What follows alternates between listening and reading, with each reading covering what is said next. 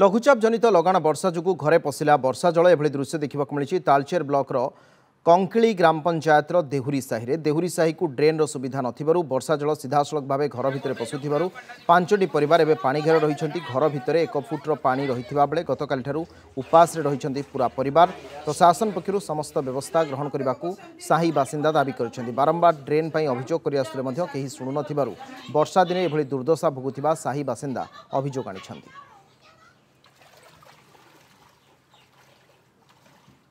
କାଲିଠୁ ବର୍ଷା ଯୋଉ ଘର ଦ୍ୱାର ସବୁ ପାଣିରେ ଭାସୁଛୁ ଆମେ ଗାଈ ଗୋରୁ ମୋର ତ ସବୁ କାଲିଠୁ ଫିଟେଇ ଦେଇଛି ନା ଆଜି ଯାକେ ଆଉ କିଛି ନାହିଁ ଘରେ ଖାଇବା ପାଇଁ ଭାରି ଅସୁବିଧା ପାଉଛୁ ସରପଞ୍ଚ ବି ଏପର୍ଯ୍ୟନ୍ତ ଆସିନି ସେ ଦେଖି ଘର ଦ୍ୱାର କାର ପାଣି ପଶିଛି କ'ଣ ନାହିଁ ସେ ଦେଖିବାକୁ ବି ଟିକେ ଆସିନି କାଲି ରାତିଠୁ ତ ଯୋଉ ବର୍ଷା ହେଲା ଘରେ ପାଣି ପଶିଛି ଆଉ ସବୁ ଗ୍ରାଇଣ୍ଡର ଫ୍ରାଇଣ୍ଡର ମୋର ଟିଭି ଫିଭି ତ ସବୁ ପାଣିରେ ଭାସୁଛି ଆଜ୍ଞା କାଲି ଯୋଉ ଲଗାଣ ବର୍ଷା ହେଲା